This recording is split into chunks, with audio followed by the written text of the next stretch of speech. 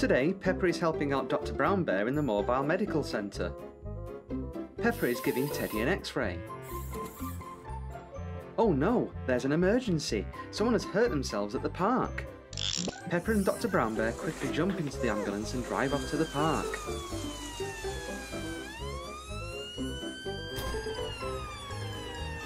The children see the ambulance arrive and rush over to Peppa and Dr. Brown Bear.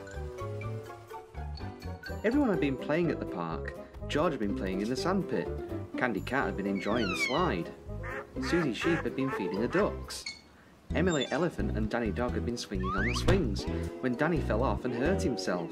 Oh dear, says Dr. Brown Bear, we'd best give you an x-ray. In a moment, the ambulance folds out into the medical centre. Nurse Peppa helps Dr. Brown Bear take Danny to the x-ray machine. Danny lies on a bed and Dr. Brown Bear starts the machine. Danny looks worried, but Peppa calms him down. The children wait to see if Danny is okay.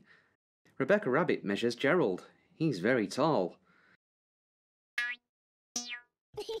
Dr. Brown Bear checks Danny's x-ray. Good news! You're going to be just fine. What's that sound? It's Police Officer Panda and his police car coming to see if everyone's okay. Everything is under control, Dr. Brown Bear tells him. Perhaps an ice cream will make everyone feel better. The children rush to Miss Rabbit in the ice cream van. Come on, Peppa and George, time to go home, calls Mummy Pig.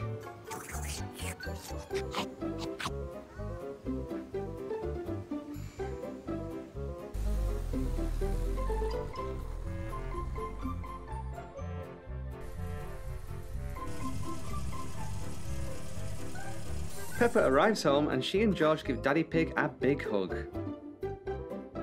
After a bath, it's time to get into pyjamas and climb into bed.